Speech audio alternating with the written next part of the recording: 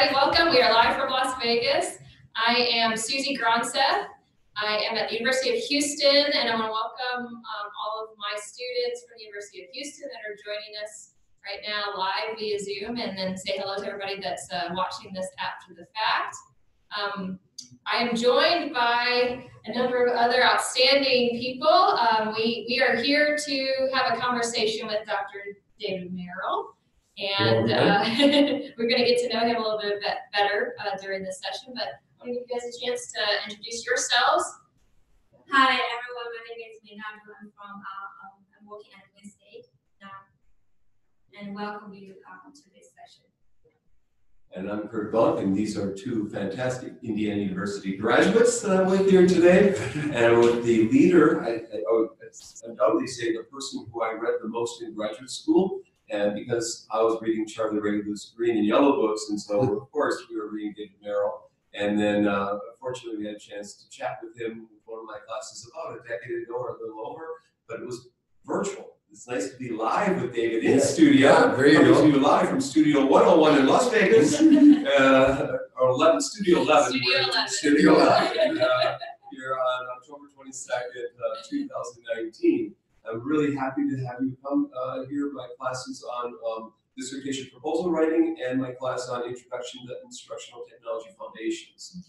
Thank you. So I have a class that is learning about um, instructional technology foundations. We're looking at Spector's book, um, a variety of different models and theories. And then as you can see how you has uh, volume two, green book, we've been looking at the um, chapters uh, related to cognitive towards the beginning, um, including um, your ITT uh, theories, and they've read that. Um, we looked at her first principles of instruction as well, and, uh, and so we have people joining us from, from those classes, and then tell us about what your Uh, classes. so I'm teaching at Wayne State as about foundation of learning design technology. We are also reading like read uh, both from uh, uh, research book Yeah, about and also research. Melena's Melena's book, and also we read uh, Meredith's paper. And Ellie Carchone. Yeah, and adding um. So you're making him work hard. Two, two requests, if we could do this twice while during this hour. Um, hit that blue so we can see if there's other people, there's people who won't show up here, I'm just curious, so there's a lot of other folks, wow! Okay, so you can see who's all in here. Uh, hi Dan and Mary from my class, Danab and Montre and Mike Yep. from Houston, and Jingwan. And Yu Zhao from Bloomington, and Sune Solf coming from Stanford, and Sybil, right? Brenda, Aida, Yeah, okay. Karen. So anybody, you're welcome if you're even, you know, um, to unmute your mic from time to time and ask a question. And um, I think we're going to be starting with with with your questions because we already have a couple of them here in the chat window. So Susie, you want to? Sure. Hello. Well. Actually, you should introduce Dave. yeah. so, um, uh, Dave, you are retired, but tell us a little Yes. bit about um, about yourself. I, I really like people to get to know you about some of the, the highlights of, of, of your career, but then also a little bit of the human interest side. So, Well, the human interest side is uh, my greatest productions to date is uh, my grandchildren, which I have 28. But most of them now are married, and I have, are you ready for this? 30 great grandchildren. Wow. And that's really hard for a guy as young as me. Uh, so that's uh, that's occupies a considerable amount of my time these days. Uh, we love to have our big family, and that doesn't count my wife's family. As a second marriage for us 17 years ago, my or 18 years ago, my wife passed away, and I married my current wife Kate, and she brought a family as well. wow. And in her case, uh, her last, her first, last grandbaby was born three years ago. Uh, and the next grandbaby to, in her family before that was 19 years earlier. So her son and his uh, bride uh, waited until they were 40 and decided if they were going to have children, they better hurry and get married. So they did at age 41 and had a baby. And uh, so she has this young, uh, she has a, this baby younger than my great grandkids. So anyway, that's probably the most important part. Uh, the other part of my uh, frivolous life is I'm an avid model railroader. I uh, own a very large uh, railroad that fills up a big part of my upstairs room in my house. And uh, so uh, I escape up there and uh, run trains from time to time. Actually, I have uh, friends come and join me. We play railroad. And uh, so uh, it's more than one train. So- Wow. Um, but we know uh, a lot about what you've done in uh, instructional design theory and how uh, your focus for for your work has been to make learning more effective overall, right? And efficient, and. Efficient And engaging. The three The three E's, yes. Can you tell us a little bit about that focus? Give us a couple of Yeah, uh, well, you know, if you get telling stories, this may have to go on for a long time. Uh, the this all started when I was a missionary for the Church of Jesus Christ of Latter-day Saints, the Mormon Church, uh, and uh, uh, before that, I thought I wanted to be an engineer. So I had two years of pre-engineering courses. Uh, I didn't do super well in physics and math and things, but uh, anyways, when I was in that experience, we were going door to door teaching people in those days. They were having lessons with people teaching about the church, and I just got frustrated with how bad the instruction, how bad we were doing. And I used to tell people, I said, the church must be true because otherwise the missionaries had killed it a long time ago. Uh, it just, uh, and so it's, when, as a result of that experience, I decided, I wrote home to my girlfriend and I said, you know what, I think I'm not going to be an engineer. I think I'm going to be an educator. So that decision took place then. And I came home and married her. And uh, 10 days after I got home, by the way. Uh, that's another little interesting piece. Um, so she waited for me while I served for two years. So that was my first experience. Then I got into undergraduate in education. I majored in secondary education, but I had a, a math minor, but a psych major. And uh, I and I uh, student taught in reading and American history, which never I never had a class in either one. And so I thought this is really terrible. And uh, I the, the classes I had in secondary education were so bad. Uh, and I just got frustrated. I told the professors, I said, okay, I think I'm done. I think I'm going to go sell insurance or something worthwhile in life because I'm certainly not going to. I was fired twice, by the way, as a student teacher. Uh, and uh, so, So that dealing with rejection. Yeah. You're gonna overcome yeah, so, so I did. I, I probably won't survive the public schools, so maybe I ought to do something else. Um, and he said, uh, the professor I talked to said, well, you could do that, or you could go get a PhD and change the field. And I said, well, I thought you had to teach for 10 years and then go to get a degree and be an administrator. And he said, no, no, no, no. There are programs available now where you can go directly from a bachelor's degree to a PhD program. And he gave me the name of three schools, I think the University of Chicago, uh, Columbia, and uh, University of Illinois. I applied to all three. Fortunately, was accepted in all three. And I went to the one that gave me the most money, which is the wrong reason to accept graduate school. But it was very serendipitous because it also turned out to be the very best school. Um, and so there I found myself in, in graduate school. Um, I was assigned to a professor uh, who turned out to be absolutely fantastic, uh, Larry Stolurow. Uh, and uh, as part of my graduate program, uh, we built one of the very first computer-based instruction systems that existed. It did survive. Uh, we had Plato was also invented at the University of Illinois at the same time. Plato survived. Socrates took hemlock and died very early. Uh, and uh, but one of the things that changed my life there was B.F. Skinner uh, visited school. This is all written up. If you've read some of my books, you've probably seen this story. But uh, B.F. Skinner came, and uh, after his lecture, somebody asked him a question. He said, "In your book, so and so, you said blah blah blah blah." And uh, tonight you said blah, blah, blah, blah, blah. And uh, there seems to be a contradiction. And Skinner says, Oh, you think I believe everything I ever wrote? And for a little guy from Farmington, Utah, I said, Holy cow, everything's not true? I should have known that a long time ago as an undergrad, but I didn't. And uh, that really changed me a lot. And the next thing Skinner said really directed my life because he said, What I tried to do was to make as few assumptions as I could and see how much of human learning we can explain with those few assumptions. And I thought, oh my goodness, uh, okay. And so then later in grad school, I started to realize that learning theory is not the same as instructional theory. Just because you know how people learn doesn't mean you know how to teach. Uh, I see that today. Today with it, we have brain-based learning. Uh, I think it's nonsense because knowing how the brain works has very little to do with how you instruct people. Uh, so I decided maybe in my career, I will build, I will take theories, uh, Skinner's idea, I will make just a few assumptions to see if I can build a theory of instruction. which I spent most of my career trying to do. Uh, time we messed around with computer-based instruction, obviously because of how I was started out, and so that's how it kind of all got started. What was the question? Tell us about yourself. That was Yeah. that was the question. I Alright. once worked with B.F. Skinner's daughter and husband uh, at West Virginia University. I briefly talked to Skinner on the phone before he passed away. Oh, did you? So And uh, Julie Vargas, his daughter, who wasn't raised in the Skinner box in Bloomington. um, yeah, exactly right. Yeah. Okay. Well, we the reason I ask is because um, some of some of my students have have come from well, all of my students have come from a variety of backgrounds. We have some that came from engineering, and they picked up on some things that they had learned in undergraduate in their engineering courses when we were reading uh, about uh, your instructional transaction theory. And we were kind of wondering, did you have that sort of grounding and maybe that influenced um, your thinking somewhat? Yeah, well, obviously, I, I, had, I had a math minor as a result of my engineering. Uh, there's another story about that, but I'll tell that another time.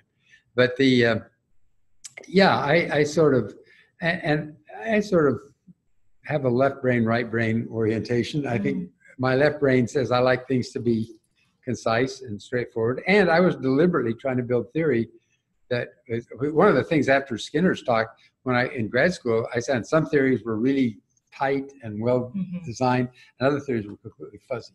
And uh, so I, I wanted a tight theory. I wanted things that were tight. I wanted, I, I wanted prescriptions that told you what to do, not just have broad things like have a discussion or Mhm. you know, or I mean, we we still have in this organization. We go around look at the program. There's all kinds of broad, broad prescriptions which really don't tell you anything, Mhm. uh, and it can be interpreted in a lot of ways. And so I, I was trying to do that, trying to build a, a theory. Uh, my first attempt at that was uh, what we called component display theory. Uh, and because I was young, I invented all kinds of words to impress people, uh, like you know, expository generality, inquisitory instances, things like that. Now I just say, now I just say, tell, show, act, and do. You know, tell, show, and do. But, um, but anyway, uh, that was the kind of the first attempt. Uh, they it, it kind of evolved and eventually became first principles. In the meantime, we also got involved with um, computer-based instruction. Uh, we we had the opportunity to design the TICCIT system, uh, which is a, one of the first big uh, NSF projects uh, on uh, computer-based instruction. And one of the things I wanted to do there was, I said, we build all these tools, there's, all- and it's the same true. There's nothing different now than then.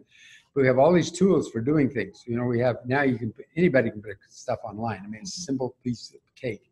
Uh, you don't have to know any programming. You don't have to know much about computers to do stuff. And people put it online all the time. In fact, we all publish our own books now, don't we, on a telephone? uh, you know, it's it's very easy to put stuff online, but that doesn't mean it's going to be more effective. Uh, just because it's online doesn't mean it's, if it's crap before, it's still crap when it's online. And uh, so I, it's I was interested then at that point in time. I said, could we build this system? Could we design this system so that the instructional strategies, how you interact with the student, how you present stuff, and how the student interacts with what you present, is already built into the system and that the subject matter expert, in our case, mathematicians and English professors, could bring their content, put it in the system, but the system would know how to teach. Mhm. And so that was what we tried to do. Uh, and uh, and TICCIT, uh, we, that was a very interesting system. Uh, it also uh, it had with built within it a expert system because we gave students three buttons. A, a example button, practice button, and a example button. And so we let them control their own strategy. So we said, you know, if you're going to learn about pronouns, one of the things we taught them about, um, you know, you're going to learn uh, there, there, there, for example, in, in English. And uh, so he said, this, that's what this little lesson's about, there, there, there. And so then you can say, oh, I want to see a rule Mhm. about that, or I want to see an example, or I want to see a practice problem. And you can choose as many practice problems, many rules you want. We also had an easy, hard button, so forth. And when we presented that to the National Science Foundation, somebody said, um, that's really going to be tough. How do students don't know how to do that? How are they going to do? What are they, what are they going to do if they try to do that? Mhm. And uh, I would happen to be at the Blackboard at the time. I'm on our team member. And I remembered a lecture that I heard from Roy Stolurow in a grad school. And in this lecture, he drew a circle. I said, this is a student. He drew a box, said, this is a teacher. And the inner, he drew a narrow down, narrow up. He said, the teacher will interact with the student. He'll present, the teacher, student will interact, so forth. That's a, a teaching system. He drew another box and he said, this is the professor function. When it's not working, the mm-hmm. professor will step in and change the strategy for the teacher. So I remembered that. And I said, oh, I'm standing in front of the group, in front of NSF. We never Mhm. talked about this at all. I said, oh, what we're going to do is build an advisor Mm. on this system. And when the student gets stuck and says, I don't know what to do next, uh, they're just going to push the advisor button and it'll tell them what to do. And my my team in the back were going, you know, and I just kept talking. And they were furious with me, you know, and I'm in front of it, you know, in front of our, Uh-huh. our sponsor. And so after we got together, they just, they all yelled at me and said, what, what are you talking about? We don't know how to do that. Nobody knows how to do that. I said, yeah, I know how to do that. I said, we can make that work. We can do that. And uh, so we, we did. Uh, it was one of the more trying periods of my life, but uh, we actually built an advisor, uh, which later I learned after I started studying artificial intelligence after the fact, much later, that this was an overlay system. Uh, we, we had an overlay, what we called the All-American Strategy. And what we did was compare where the student was with that strategy and then advise them to the next step in the Mhm. strategy. Um, and so it was a very sophisticated Mhm. system. When the system went public, uh, they pu- pu- published it and made it commercial, said, we don't understand this at all, so they threw the advisor away. Mm. Uh, but anyway, I don't know where we, how we got to there, but I told you if you start me telling stories, you're in trouble. That may not, you better ask me what you want to know. Why why don't you grab one or two of the Okay. questions that have already been asked? So one of the first questions that came up in the chat had to do with the pebble in the pond model, Okay. instructional design. And the compare, the question is about comparing the first step to identify some typical problem that would represent the task that a learner would be able to do following instruction and how it would compare to a design thinking model step of designing, defining the problem. Is Dan there? Are you with us, Dan? Can you- Yep, you wanna Dan is Mute here. your mic and say something? I'll try it. How's that? Yep. Yes. So I, hello everyone. Thanks for uh, doing this this afternoon. I had the chance to read that article over the weekend, Dr. Merrill. And you know, with in business today, everyone's talking about design thinking, and I just was wondering if you could talk how they compare and contrast, or i- is there a comparison between the two two models? of course, you're assuming I know what design thinking is. You've got to remember I've been retired for more than That's 10 years. Um, Uh, that's that model of uh, uh, they a five step model of empathize, uh, define a problem, ideate, prototype, test. Everyone's talking about it in business today, and to Well, it, it sounds to me like you're very right. consistent. My, my idea was very simple. I think objectives, as were defined by Mager and other people, writing behavioral objectives, are not very useful. Uh, you know, we had a lot of books that came out and they all started with an objective. You read the objective and it's only understood after it's understood. I mean, you, you don't know what the objective means until you've studied the course because the objective uses terms you don't know already. And so I, I found objectives were kind of crazy. So what I said was, why don't we start? Well, first of all, I made the assumption that all good instruction should teach you how to solve a problem or do a complex task. Uh, and so for me, I just said solve a problem, and I meant very broadly what that means.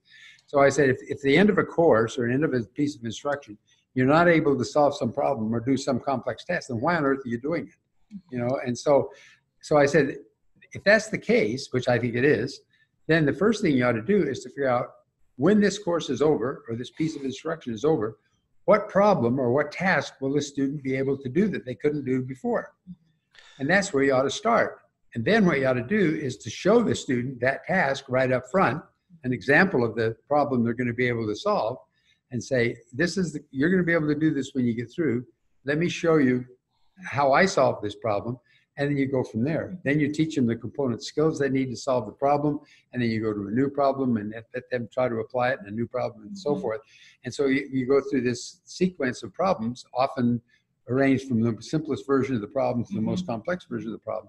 Uh, and along with that, the pebble in the pond also suggests kind of a what we now call uh, rapid prototyping, or has what's the agile? I don't know with all these terms now. It's mean the same thing.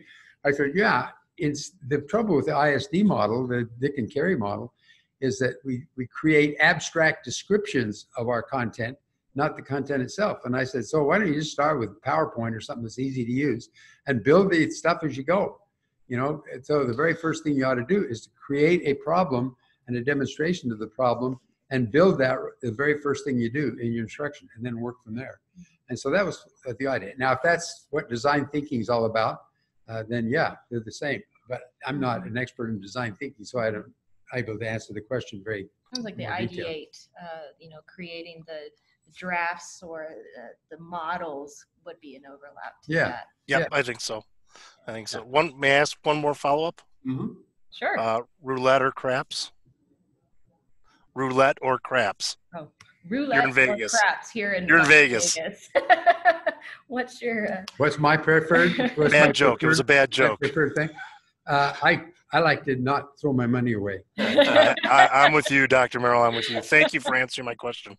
Um, Thank you. Sybil in my class asked a question earlier today. Um, Sybil, you want to unmute your mic and ask it, or I can ask it? Why don't you try it? Why don't you hit that blue button? Let's see who's in now. sure.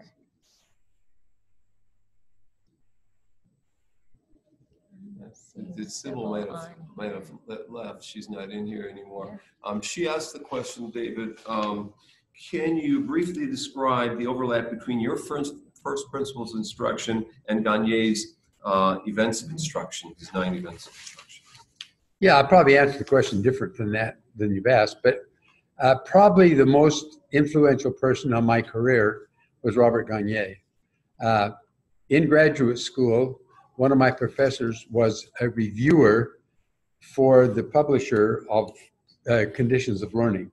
And uh, one day after class, I had written a paper called Two Kinds of Learning uh, for his class. And after class, he said, You would really be interested in this manuscript. And he handed me Bob Gagne's manuscript for Conditions of Learning, the 1965 version. So I read it in manuscript form, and I immediately wrote Bob Gagne, and I said, You have written the book I wanted to write. Mm. And that started a relationship between Bob and I that lasted for all of his life. And uh, we interacted a lot. I never, never had a class from him. He never had a class from me. Uh, we interacted on several occasions. Um, so basically, I guess I started with Bob Gagne, his, his events of instruction, his categories of learning. Uh, the very first paper I wrote that sort of led to first principles and uh, first to component display theory and then first principles uh, was a paper for the um, Review of Research and Education. It's an annual volume for AERA. Oh, Uh, important. The, yeah, the very first volume that came out, uh, I had been out of school, uh, past my PhD, I think two years, three years maybe. And I got a phone call from Kerlinger, who's the editor of that. And he said, uh, somebody recommended you. They said, you're a bright young man. You just got your degree. We need somebody to write an article on instructional design and research and about instructional That's design. putting pressure on as a new guy. Uh, That- brand new. That's And an I- important Were you at BYU I- by I- that point, or? Uh, you- yeah, I was at BYU. I, I had been at George Peabody for two years, and I was at BYU. It was about the second nervous on year or that. third year I was at BYU. And uh, so, yeah, yeah, and but you know, being, I mean, I went to grad school on the same kind of assumption that you know I don't know what I'm doing, but I do it anyway. Um, and so I said to him, I said, "How long do I have?"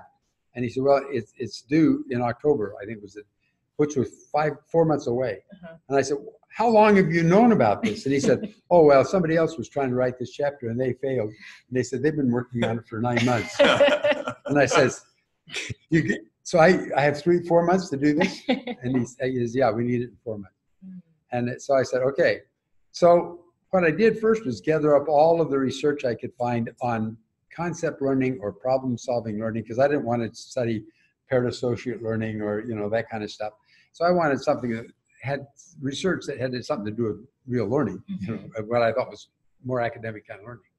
Um, and then I looked at them and I said, and- the big thing in that, uh, in most of those papers was discovery versus expository Mhm. instruction.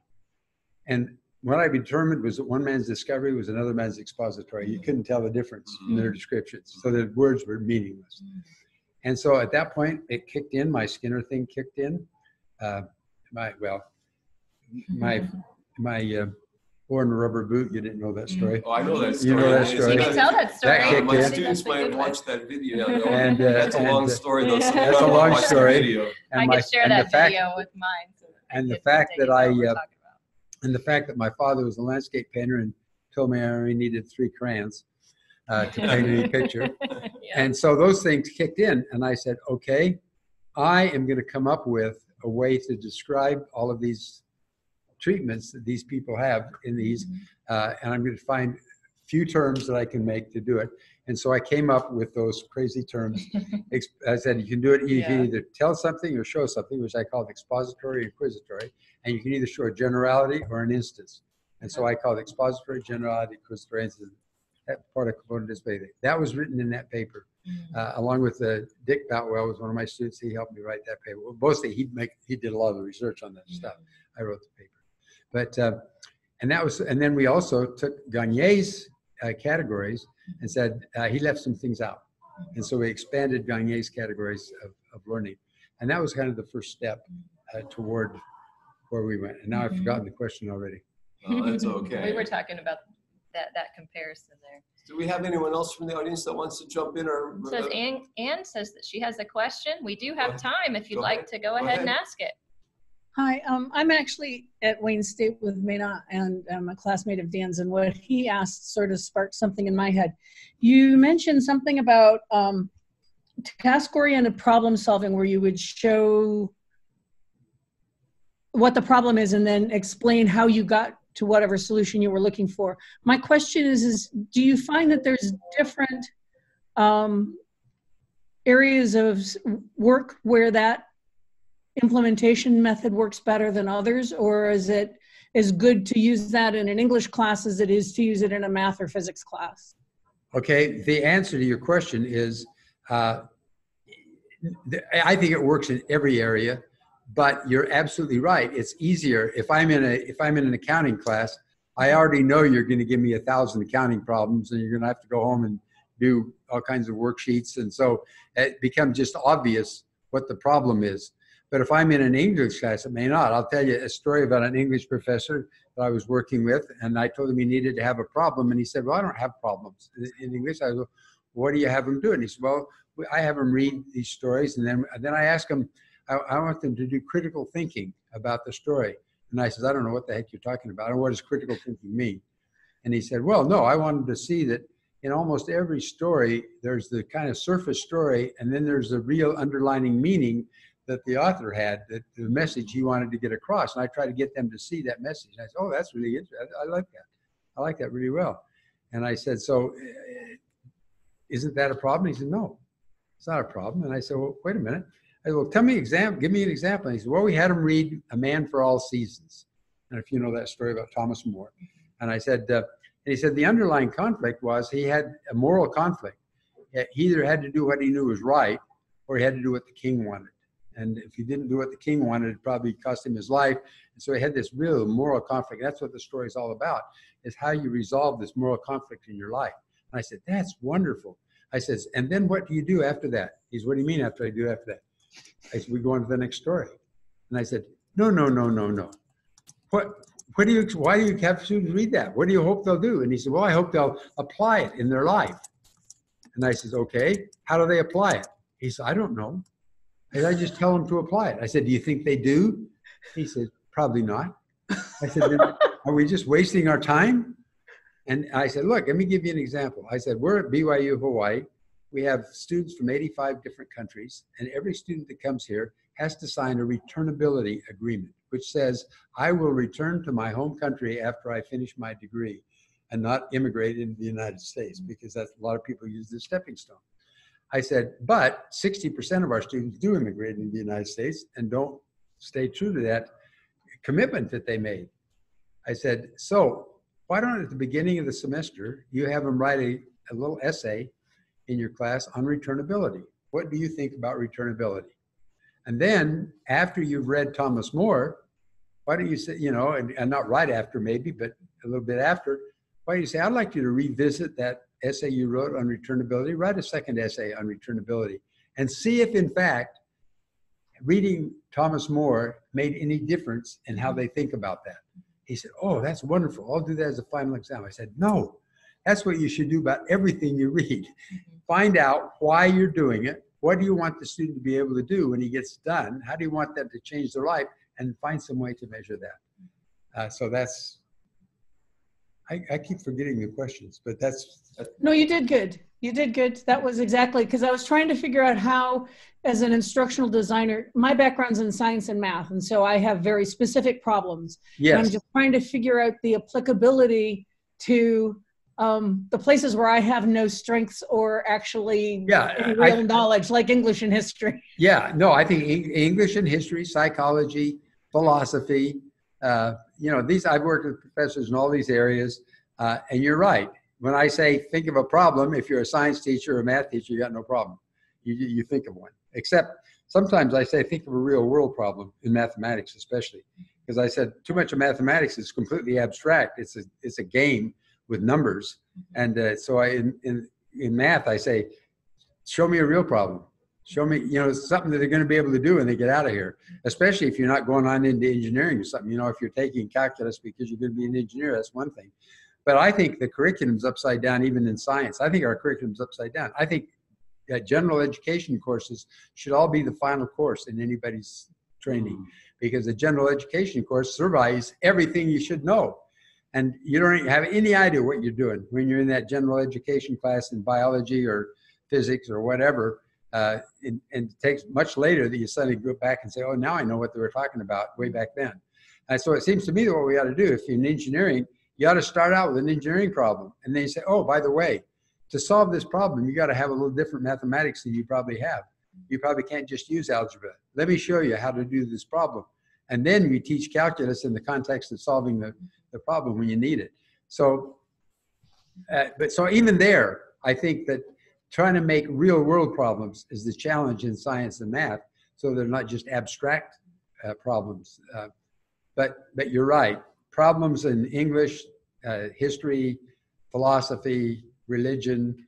Uh, but I've had students do religion classes. My greatest challenge of all, I had a, a kindergarten teacher sign up for my class on first principles. And I said, hmm, I don't know uh, if this is really going to apply to five-year-old illiterate kids that can't read or write. Uh, and I, so I told her, I said, oh, I, really, you're really brave to sign up for this class. I, it's really kind of gained more uh, adult learners, or at least, you know, beyond the Piaget formal stage, you know, like 12 year olds and beyond. And she said, oh, no, no, this will work perfect for kindergarten kids. And she developed probably one of the best first principle lessons I've ever seen on counting groups and how to compare groups to see who did something best. She actually did research in group comparison with five year olds, Mm. all done in PowerPoint without a live teacher. Hmm. Uh, and so I've come to the conclusion that, yeah, it applies everywhere. Mm. Uh, it may take a little more creativity in some areas, as you correctly identified, Ann, than in others. Thank you. Thank you so much. I really appreciate that. We've got Priyanka and there's, um, who's the other one there? We should go to those two questions. I saw a big long one from Priyanka up there. Just scroll that down maybe. Um, we have a question This from from- Jingwan and one from Yeah, let's do those two and then Okay. I'll have a question. All right. So Jingwan and Fong are, are also doc students that I work with at University of Houston. And Jingwan says, yeah, uh, I am reading an article by Elliot Eisner. He argues that educational objectives clearly and specifically stated can hamper as well as help the ends of instruction, especially for subjects such as arts education. What do you think about this argument and how do you feel about setting learning objectives before the instructional process? And and do you want to unmute your mic and, and come on camera so we can see you? And, and uh, you want to, you want to rephrase the question at all? Jingwan, you can add a little bit more if you'd like. Can you see me? Hi, Hi. I'm here. I'm in my office. That's why I mute my mic. Yeah, uh, I don't have anything to add. I mean, that's just my question because I have never thought about educational objectives can hinder the the instruction or the effectiveness of instruction. So um, I think he mainly argues like for some subjects such as art education, where like objectives are not measurable in some way. So like so she argued that for subjects subjects such as this kind of um, uh, such such as arts, education. Uh, I think her his point of view is to not have a specific or objective set up before the instruction happens. So I want I wonder to know what's your point of view, on this? Yeah, I have a strong point of view on that. I think objectives Ah. are a waste of time. Uh, Oh, no, uh, I mean, they have a purpose in terms of helping a, a person know what their subject matter is. But this idea that we have these objectives at the front of our courses, I don't care whether it's art or anything else, oftentimes you have no idea what the objective means or what it says. And so, yeah, I think I don't think they contribute much. That's why I went to the point where I said, show me, I'm going to show you a problem or a task that you're able to do. Now, if I'm in art, I can do the same thing. I'm going to say, you know, I, I'm not an art teacher. My father was an artist. Uh, but, you know, I, I have some goal in mind. Now, you know, I may want you to be creative. I may not want to hinder you, but certainly there are things that I want to acquire. And so I say, I want you to paint a picture that expresses some emotion. Let's say that's pretty ambiguous. You know, I want you to paint a picture that expresses great love. Uh, and so, you know, you paint that painting and let me show you how I might have done that, you know? And so let me, let me show you a painting I painted and let me analyze that painting for you. And now let me show you another painting. Here's another person that did it a completely different way. And let me show you that. Mhm. And let me show you this. And let me, let me just talk about the techniques that they used and so forth. And now I want you to paint a picture and I, you know, and then you tell me the techniques that you use, so forth. That I think would work. And that, and so, okay, I got rid of the objective. I don't have to have a pro objective say the student will be able to blah, blah, blah. And here's the way I'm going to measure it. You know, uh, how do I measure that when they're all done? You know, that it really shows love. Well, that's, that's a little tricky as well, uh, especially in that kind of a situation. But, uh, you know, you can say, okay, we're going to put it out. We're going to have some people look at your art after, and we're going to have them re- respond to it. How did this picture make you feel? What did you think about when you did this picture? You know, I'm, I'm going to get some data. Is there a right, wrong answer? No. Uh, but does that help? Yeah, that helps. But uh, like in my practice, um, when we help some instructors to design their course, the first thing that we want to see is their objectives. If they're not like we we we use backward design, so we want to see their objectives first, and then based on that, we want it align with the teaching activities and the Okay, let me- assessment. So that that's Let me suggest, let me suggest where you go with that. Uh, you, you, you're, you're the perfect example. I agree with you. You Mhm. start at the end and come Mhm, back. Yeah. But the end, the end, it shouldn't be a test. Uh, you know, that's ridiculous. A multiple choice test or something isn't going to do anything. What I want to do is I want, I want them, I want to show them the problem they'll be able to solve when they're done. So why don't we start there and say, here's the problem you're going to be able to solve. And now let's move backwards. Say, what do you need to learn in order to learn how to solve that kind of a problem? And not only that, I want you to solve several versions of that problem. So from the, you know, let's, and, or maybe I'm going to petition the problem out and you're going to solve pieces of it as we go along. Uh, and so rather than objectives, which are kind of abstract and hard for professors, especially, or for teachers, especially to write, tell them, ask them, what, what do you want this student to be able to do? What kind of a task do you want this student to be able to do when they get through the course? What kind of a problem do you want them to solve? Show me. Don't tell me. Show me the problem. Show me how you would solve a problem. Show me how you would think a student would solve a problem. Show me a problem and how the student would solve it. Great. That's where we start. Hmm. And now let's move back from there. Thank you. Thank you. Blow minds by uh, Very get helpful. rid of the objectives. hmm hmm I think Priyanka did have a question. Yes. And Priyanka is what, from India. She just moved from Dubai to Adelaide. Oh, really? Priyanka, can you unmute your mic and go ahead and ask that question? Hi, Hello. Yep, you got, A- am I? yep, we hear you. You're, yeah. Okay. Um, so my question was, um, what issues do you think exist today in learning and are important to you today and you would fight for? And what do you, what kind of transformations have you seen happen over the years and you would say, oh, those amaze me?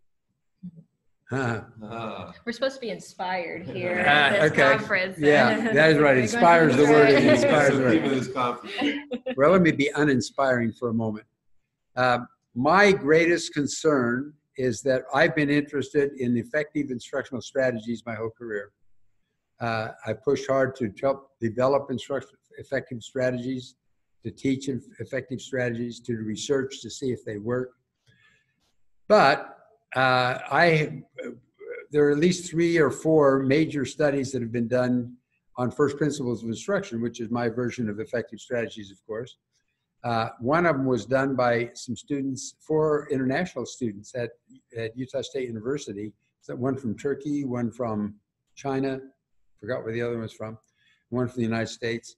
And they looked at all the courses they could find online on marriage, on, on effective marriages. And they limited to courses that were written by uh, clergymen or by marriage counselors or, you know, not just run of the mill kinds of people. They wanted to have uh, really people that knew what they were talking about. And then they looked at these to see to what extent they implemented first principles. They had a seven point scale, and the mean of all of those was 0.1. 0.1, meaning that only a few of these many, many courses even used any of the first principles of instruction. So my greatest, and another story was done by Anoush Margaryan. Uh, she is in, she was in Scotland. I think she's in England now. Uh, she did her her uh, PhD at the University of Twente. I had the opportunity to be an outside member on her committee, and she did a big study on first principles on MOOCs. She looked at 76 MOOCs. Uh, big, did you read that study, Curtis? Uh, and, and again, she looked even more carefully than this first study in terms of the scale that she used to see to what extent MOOCs use first principles. And what she found was they almost don't. There's a lot of these MOOCs that claim to teach applications, uh, problem solving skills, but when they look at them closely, they didn't implement the, the, the appropriate strategies. So my, my, my uninspirational comment is my concern is we know what we know good strategies, not just mine, but other people as well. We know good instructional strategies. We don't see them. We don't use them. Uh, and in fact, as, as it's become easier and easier to put things online, we see even less and less effective instruction. So that's my most uninspiring thing. The most inspiring thing to me is we now have on our in our pocket technology that exceeds all the technology in the university when I went to, mm-hmm. as an undergraduate. I am just blown away by the capabilities we have. Uh, and with simple things, I, my favorite thing to do is to take uh, uh, PowerPoint, which is often belittled and said is really terrible, and to show people that you can make PowerPoint fly. Uh, I like I love to take teachers and show them, hey, you should be using PowerPoint in your classroom. And not only that, you can do simulations, you can do all kinds of stuff with PowerPoint, and it's not hard. Uh, there's it's and so most people use one percent of the capability of this wonderful tool. Uh, it's just like word processing. Most people use one percent of their word processor, uh, but we have these phenomenal tools that we can almost simulate almost anything. We can get almost any level of interaction. Uh, somebody asked me the other day, can you teach anything on, on the computer? And I said, yeah, I think so. Almost anything, you know, and, uh, and I could give you examples that of students that I, one of my favorite examples was a student, uh, I, had them all design effective instruction, but I didn't give them restrictions. And when they turned them in, I said, oh, I forgot to tell you, I wanted this course to be online. And one of the students did a course as how to teach a little league shortstop how to play his position in the, in baseball uh, and how to position himself uh, to where the ball's coming and so forth. And I said, oh, that was a fantastic lesson. I mean, it was really, really good. I said, really great. I said, except that I forgot to tell you, I want it online. I want you to be able to teach it to 50 people simultaneously. Uh, online. He said, that's impossible. This is a lesson for a coach. I said, then put your coach in the computer. And he said, this is not possible. I said, then I'm not hiring you. Uh, you know, you can't be, you can't work for me. I want it online. And he said, well, that's not reasonable, Dr. Merrill. And I said, no, that's, uh, I'm challenging you. I want to figure it out. Well, he complained. He called me a couple of times on the phone and says, no, this is not possible. This not. I said, well, okay, that's all right. I won't hire you. He said, well, you gonna give me a grade? And I said, yeah, I won't pen- penalize you, but uh, I'll do, I'll give you a lot better grade if you put it online. and so uh, we fell silent for a while. And about a week later, uh, he came to class one day and he said, I've got it. I said, okay, great, show me. He said, let me show you. So he takes his computer screen, he sets it up, and he said, now we're going to step back this many feet from the computer. He said, now I want you to get down in this position. He kind of put your hands on your knees and squat down like a, a shortstop would. And he said, I want you to scream because I this picture was taken from the, where the shortstop would be on the field, and you can see the pitcher, and you can see the batter down here, and you can see, you know, and what I want you to watch is I want you to watch that pitcher, and I want you to watch his windups because that'll tell you what how he's going to throw that ball. Then I want you to watch the batter, and I want you to see how he positions himself to swing because that will help you tell where that ball's coming. And then I want you to get ready to catch that ball when it comes. And so then he had all these scenarios like this. It was phenomenal. Was it better than a coach? Probably not. But it, it did demonstrate to me that if you're really creative, you can use this fantastic technology we have to do almost anything. So that's what I think is the miracle. I'm amazed every single day when I pull my phone out of my pocket. I remember at USC when Bob Casey, one of our professors, came back from a conference. This was now got to be the 1980s probably. Um, and he came back from a conference and he said, we will be able to take pictures with our phone. We will be able to do uh, communicate with one another uh, over our phone with pictures. Uh, and we'll be able to take movies with our phone. And we all said, "You got to be kidding me!" You know, The phone's in a bag that's Yeah. like this big. well, we didn't, we didn't, you know, we didn't have anything at that point, and there was none of it. There was none of it at that point in time. He also came previous to that and said, "You're going to get all your television from satellite." Uh, so he was out on the cutting edge of, you know, with uh, Xerox and other people who are doing the research on this stuff. And so I pick up this phone nowadays and I say, "This is a miracle. This is absolutely incredible." There's so many things we can do, and, and in fact, I never have arguments with my wife anymore she always used to tell me I was wrong. Uh, and now she doesn't. She just says, Siri, what's the answer to this? And then she shows me. Thank you for your question. So we had, that was an Indiana question. Probably do a Wayne State or a Houston question. And remember, I have one at the end here. Uh, we have about ten minutes or fifteen left. Um, so who should we go with? Hmm, I want to go with Mike. Mike, how about you uh, unmute your mic? Are you still on? Hello, can you you hear me all right? Houston or Mike is from Houston. Well, Hello. Yeah, so um, a few weeks back when we went through your chapter in the Green Book, um, I'm the strange grad student who started out in an engineering program. Um, and I wound up looking at the uh, example of a potential procedurally generated, so to speak, instructional module with the uh, looked to be some form of an engine valve or a, a structural uh, transmission valve of some kind. Okay.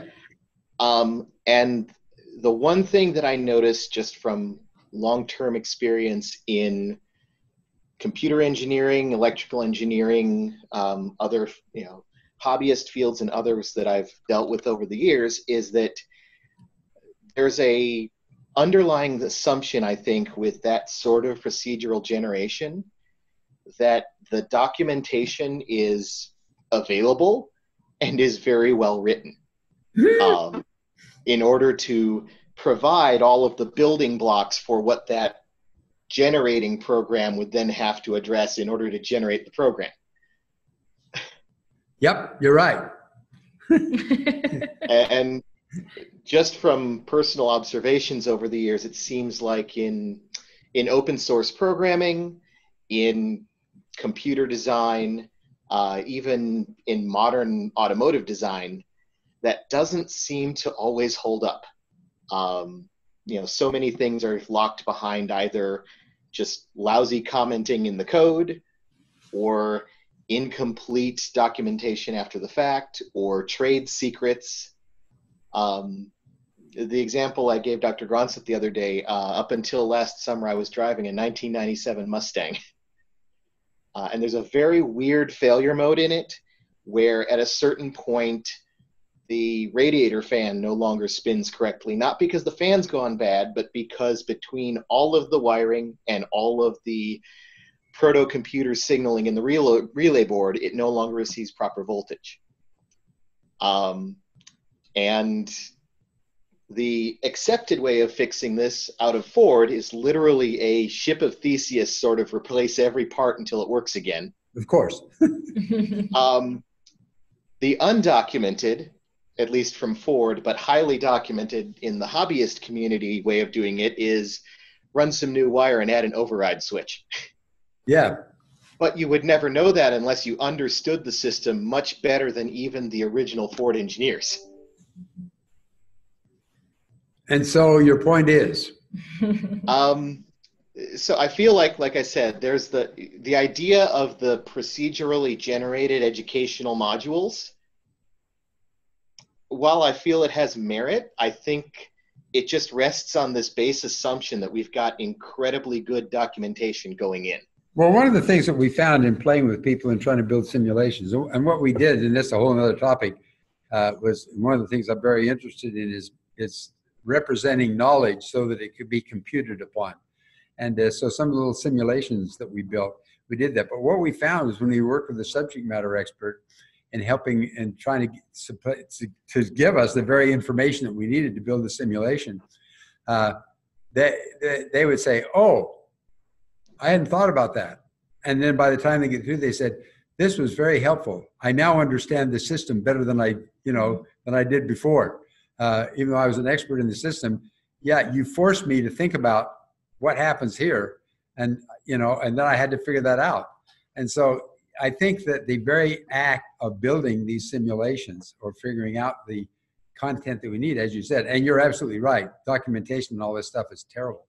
Uh, is that, that really helped uh, the the the design? And so I think the same some of the same tools we use to build these things can also find their way back into the design stage of these kinds of, of activities where they they do be do find be, do better job at actually building and designing this thing that they're trying to do.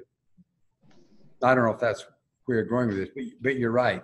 I, I, I don't, it's, yeah, I, I, we often teach things we don't know. Uh, that's one of the things I started to build simulations with people. Uh, I, I just, I, I came up with this, the slogan, most subject matter experts aren't.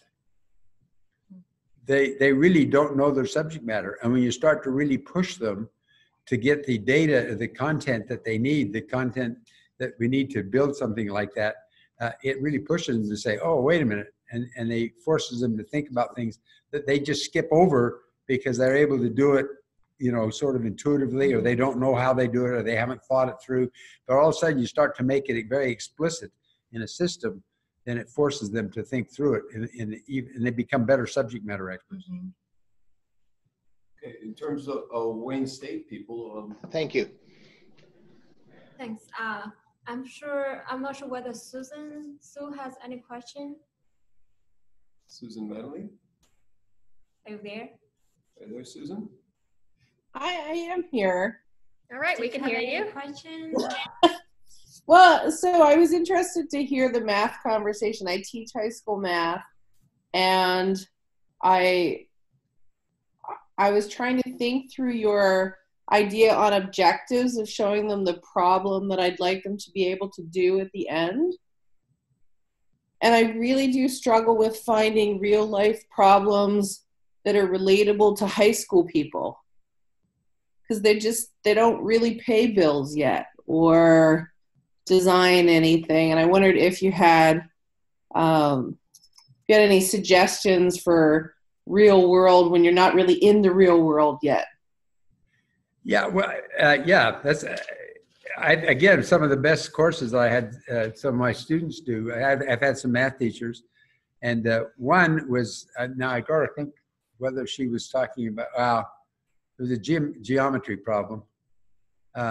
But anyway, what she did, I remember the example she came up with was designing an irrigation system.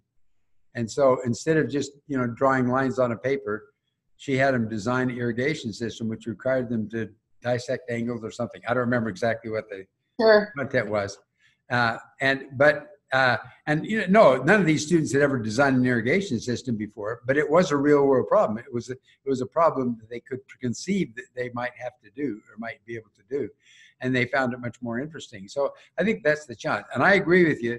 It's not always easy to find those applications because oftentimes mathematics is so abstract. We teach it so abstract, which is one of the things that makes it really hard. But if we can if we can bring it down to say you know, even though they may not have had experience with the real, if it's a real world situation that they can imagine themselves being in, then Yeah. you're actually teaching two things. You're teaching them, you know, a little bit about how to design an irrigation system, but the real purpose was to teach them the geometry underneath. Thank you. You're welcome. And by the way, those I, if you send me an email, I can send you a copy of those PowerPoint, the the PowerPoint lesson that this woman did that might help you. Oh, okay, terrific. Thank you. I will do that. My email is simple. It's Professor Dave Merrill at Gmail. Oh, excellent. Okay, because I'm simple and I need simple. okay. Back when I worked in the business world, my boss, the controller, I was assistant controller, he said, keep our password simple. So my password was simple and he was Simon. Uh, Wouldn't work today. No one let us get away with that. No, you'd ha- no, you'd have to you'd have to put a couple of symbols in the middle, Yeah, yeah. capitalize one of the letters. Yeah, so Dave, um, a couple of the students in here have been reading your article in Ellie Carr-Chellman's book. So Wayne State students have read it and Indiana students have read it. And they've been uh, debating it with a tool called Nuclino, which is like a collaborative tool to debate. So they read your, the, the, the article from you, they read the rejoinder, they read the response and all that, and, and they wrote up some questions for you. And I, I I think I'll focus on the ones that relate to programmatic things, the two questions. First one, undergraduate programs in this field are starting to emerge in the States. They've already been in Korea and in Taiwan, China, but the emphasis on undergraduate program instructional design, could you talk more about the inroads that have been made in your lifetime, especially the past decades in that regard? And if there's not been, what could AECT, this conference, or ATD do um, in terms of forming a working committee or whatever? What, what, what do you think the potential is for undergraduate uh, in, degrees in this field? And what, what would people study? Oh, Okay, the last question is the easiest to answer. The former questions about what's happening, I keep in mind I'm retired. I don't try to keep up anymore, uh, so I'm, I'm not. You know, I can't tell you what's happened the last decade. But uh, uh, you know, I do know that there are some undergraduate programs. I know that I just talked to somebody from Utah State, which I'm an emeritus professor, but that means I, I use the library. I don't know anything else what's going on. Uh, and uh, they, they apparently have a undergraduate program now in instructional technology. My argument, what I what I was after was really, it seems to me that our graduate programs, it seems to me that taking a master's degree and learning to do instructional design, design instruction, uh, is not a very good use of our manpower. Number one, and and number two, if you get a master's degree in instructional technology and you go out into business and industry, the chance that you're actually going to design instruction is probably very low. What you're going to be is a manager, and you're going to get a whole bunch of designers by assignment to assign to you, and they're going to design the instruction, and they haven't had the training you've had, and you're going to be frustrated because their designs are going to be crappy or not as good as you'd like. I should say that. I should say crappy. They just won't be as elegant as you would like. Uh, so it seems to me that that instead of teaching our master's students to uh, design instruction, we ought to move that down to an undergraduate level. So somebody could take my book on first principles as an undergraduate uh, and do very fine with it in terms of designing instruction. The only opportunity I had to do that was when I was at BYU Hawaii. I taught an undergraduate class in instructional design, and their designs were as fantastic as my master's students. So I know that they can do that. And the master's students really ought to be building intelligent tools that know how to teach and that can be used by designers by assignment who are subject matter experts to bring their content and not have to worry about how am I going to present that to the student? How am I going to have the student interact with it? How am I going to grade it? That all ought to be built into the system. And we need uh, more opportunities for building students. So I think that's what the, the master's students ought to do. They ought to take what they know about instructional science, about, uh, about learning, about uh, instructional design, and they ought to build tools for designers by assignment. Then that push up to the PhD program, and the PhD program ought to be research on instructional design. What works? Why does it work? How's it related to learning? All of those kinds of more more difficult questions. Uh, and then the master's students ought to study that and turn that into tools. And then the undergraduates ought to learn how to use those tools and teach others to use those tools. That's kind of my my goal. And I don't think that is happening. I think there is some undergraduate program for teaching instructional design. I don't know that master's programs are changing in the way. I haven't seen any tools uh, or very many tools developed by master's students. So the other parts of that, there, the PhD, yeah, there are PhD programs that really are doing the kind of thing I'm talking about. But there's even PhD programs that are teaching people to design instruction and at a level I think should be undergraduate. That's a good, and you've, you've covered my second question already, so we can move on. Do you have a question for us? Uh, I have several uh, doctoral students who are trying to figure out their research areas, and uh, one of the students she mentioned she's worried about if she's doing some research that will be outdated once she graduates. Then, do you have any suggestions for the graduate students who are trying to figure out their research areas? My observation is that the chance in this field of having your stuff outdated is very low uh, because we don't know very much. It's not like math and science where it gets passed over. So I think anything you do is likely to be have some lasting value. Uh, I mean, the work that I did on first principles dates way back 50 years now. Uh, I think that some of the first papers I wrote are as relevant today as they were then. And the reason is, is because we're still not doing it. We're still not using all these things that we could. Uh, and what was the first part of your question then? Yeah, yeah, that's a general the question you have already You've, answered. you've- you've got it. Okay. Thanks, yeah. Uh, is there questions, uh, final one or two or anything else, Susie? that- Let's see. Does anyone want to unmute your mic? Go ahead and unmute your mic and then talk. Put your camera on if you want. Okay, we have a question about programs and systems replacing instructors. Who is that? That was from Fong. Could the program system limit peer interaction or perhaps interaction with an instructor? Fong, you want to unmute your mic? Or can you? Do you have access to a microphone there, Fong? Well, she said that it was noisy where Oh, she okay. was, so. Okay. So what, what's the question again? Uh, Well, you know, when people talk about uh, Oh, computer-based Are- is instruction, he gonna are we gonna replacing replace the- teachers? Yeah, replacing the that- No, that's a teachers. common I don't, I, yeah, it's a common question. I don't think the answer is, I don't think there's much worry about that. Uh, I, I think that, I, I think what it does, well, let me give my own case. Um, I, I've been teaching online now for probably the last 15 years now, I guess. Uh, Boy, time goes by fast. Uh, Mhm. and uh, and I, I worried a little bit about that. And I, but I decided uh, I love to lecture. By the way, I'm an entertainer, uh, not as much as Curtis is, but I'm. but I love to lecture. I love to be in front of students. I love to to take questions in real time. But I decided when I was online, I said it doesn't make sense to can lectures. Uh, what I want to do, if people can read, uh, I've written very carefully a number of articles and books.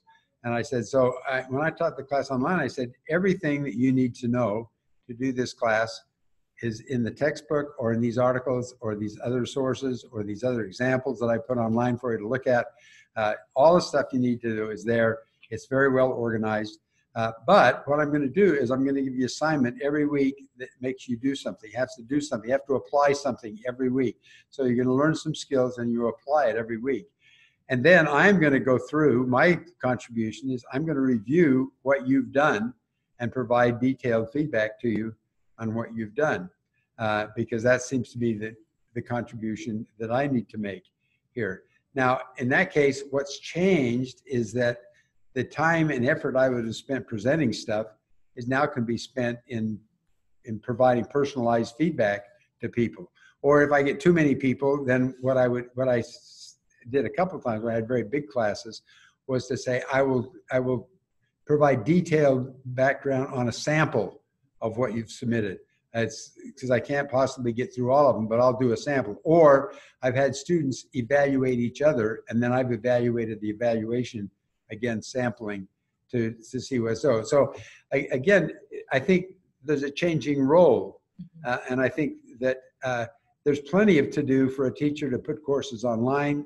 Uh, you, you, I don't know about everybody else. I'm never satisfied, so I keep revising it every time I ever do it. uh, there's plenty of opportunity to do all of those kinds of things. And so I, it seems to me that uh, that's, uh, I, I don't think there's a danger. Uh, and, you know, if there is a danger, then let's make them designers and design courses.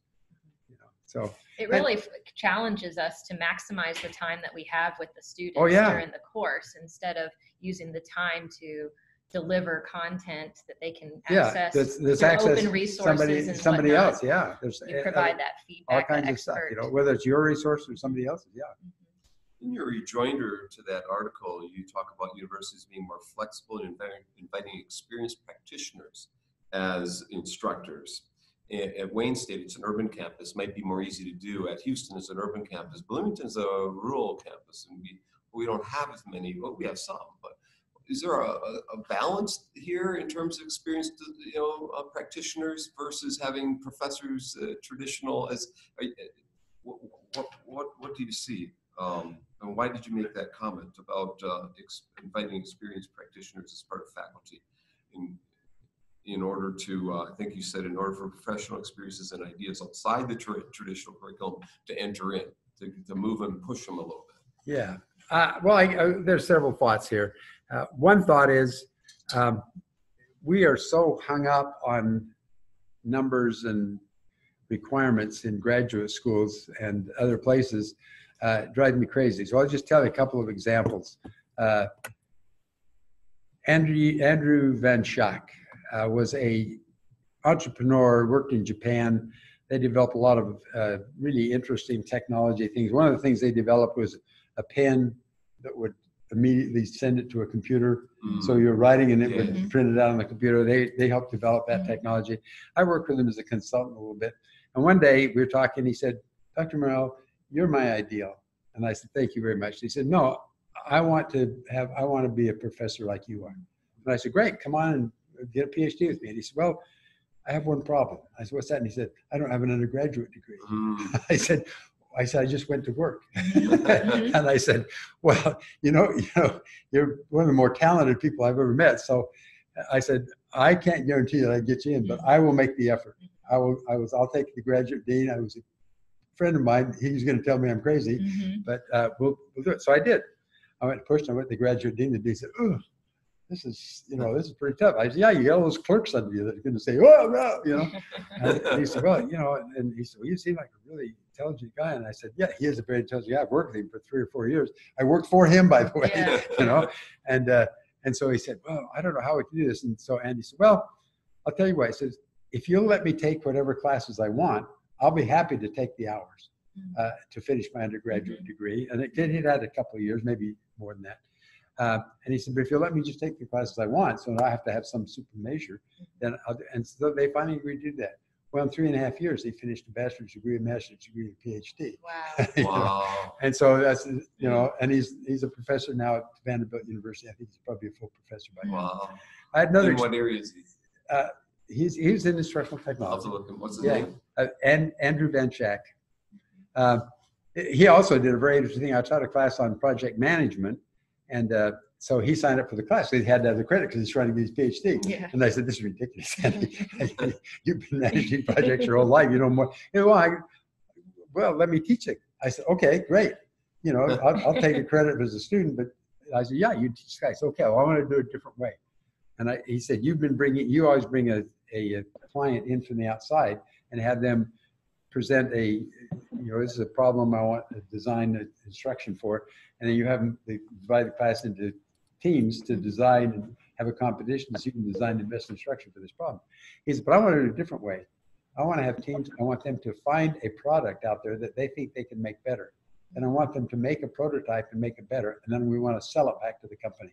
Mm. And I said, oh, wow, that's. Well, the, the one thing they did do that was very successful is, you know, apples to apples, that Uh-huh. shop. They took apples to apples and made an apples to apples version for the GRE. Okay. And then they called up Milton Bradley or whoever, they- Uh-huh. whoever did it, and they sold it back to Milton Bradley. Milton Bradley said, this is amazing. They're all receiving royalties to this day. Wow. Wow. And I said, you know, so that's So Andy. smart. All right, so, so the answer to the question is, you know, Oh, I'll give you another answer. Woman, I was at, at uh, USC, California, and this girl came into my woman came into my office and she said, I want to take your instructional design class, your advanced instructional design class. I said, great. He says, well, I'm not admitted to the program. And I said, well, that's not my problem. I, you know, she says, well, will you let me take the class? I don't care. I says, you know, you audit, it's fine. She said, well, I'll audit the class. But she said, uh, I want you to treat me just like any student. I want you to, I'm going to turn in all the projects. I want you to grade everything. I said, look, let me tell you, I don't keep track of all this nonsense that the university makes you keep track. If you come into the class and I see you every day and you turn in assignments, I'll forget you're not. it. And uh, she said, okay. And so that's what she that's what she did. She did an excellent job, really excellent. So after she came and she said to me, uh, "How did I do?" And I said, "Well, you know how you did. You're one of the top two or three in the class." I said, "Outstanding project." She said, "Good. Would you write a letter to that effect?" And I said, "Sure." What she had done is they turned her down because of her scores. Mm-hmm. They wouldn't let her in grad school. And so she went to the three professors that she asked everybody, who's the hardest class? Who are the hardest class? Mm-hmm. Who the three hardest classes?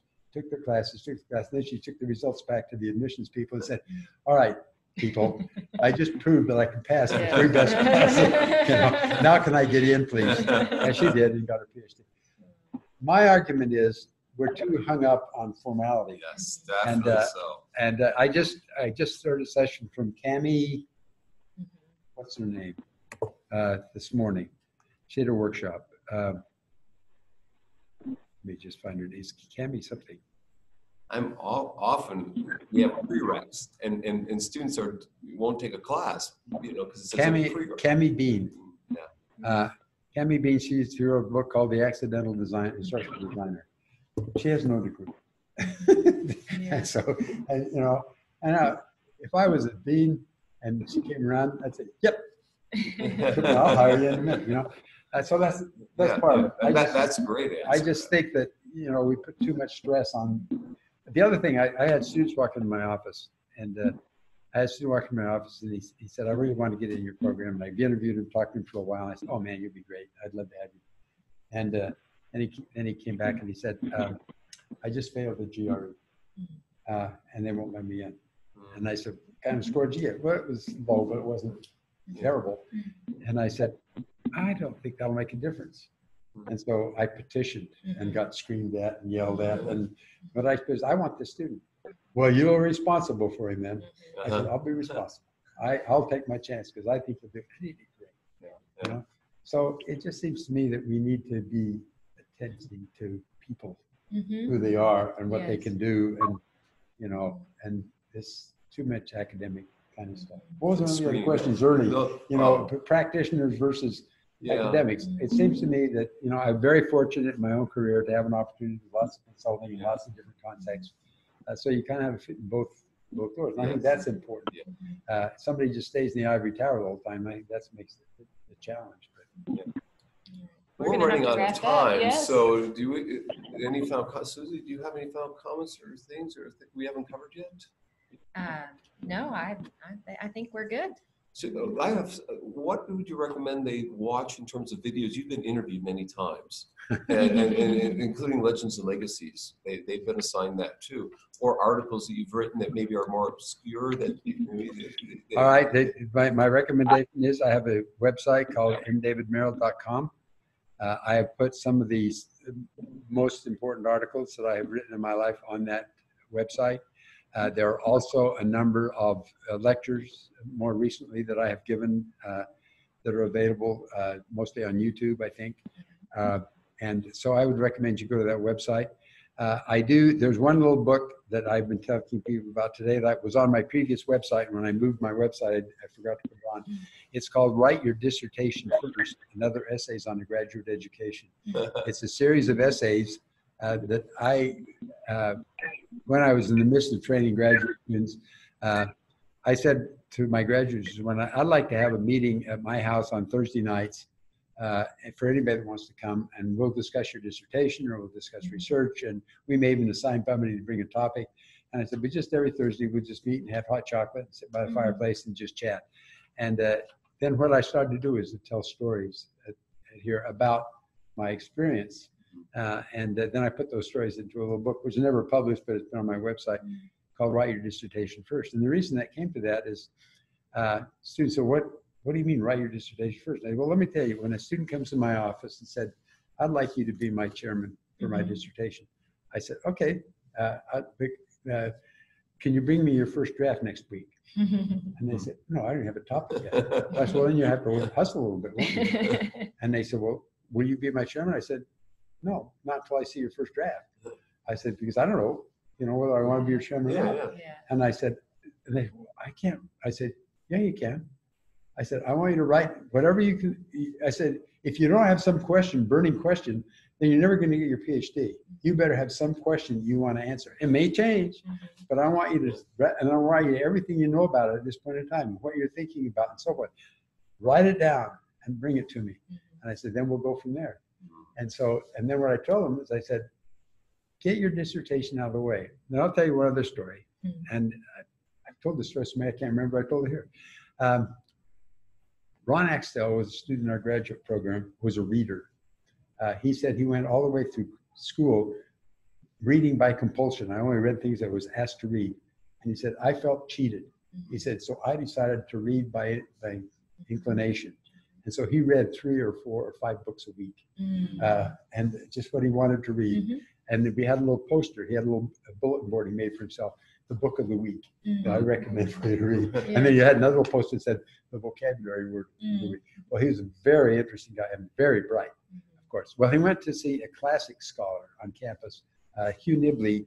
Uh, he's one of these scholars that knew uh, 40 languages and wrote Polyglot. Mesopotamia Yeah. and you know old stuff, you know, and and so forth. And uh, but now I forgot what Ron was asking. But he went to his office and he get his office. He said every wall that didn't have a window in it was lined with a bookshelf, and every bookshelf had a, a shoebox on it. And so when he got through this discussion, he said to Dr. Nibley, Dr. Nibley, what are in all those boxes? And Nibley said two things: those things I agree with, and those things I don't. And, and Ron says, that's everything. And he said, no, no, dear boy, most things are worth considering. So the more of the story is, and I used to tell this to my graduate students, that ought to be your theme as well. And if you don't know what your dissertation is going to be from day one, how do you know what to pay attention to? Mm. You know, mm-hmm. so if you have a question, you know where you're going. Then when you get in a class, you say, "Oh, that's relevant.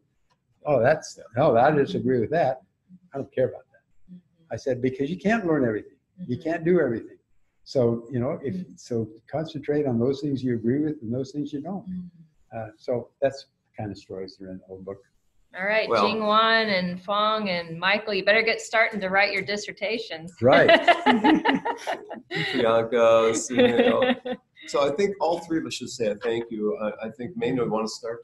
Yeah, thank you so much for the great conversation. I think my student uh, Dan and Anne also also benefited a lot, and also other uh, audience here.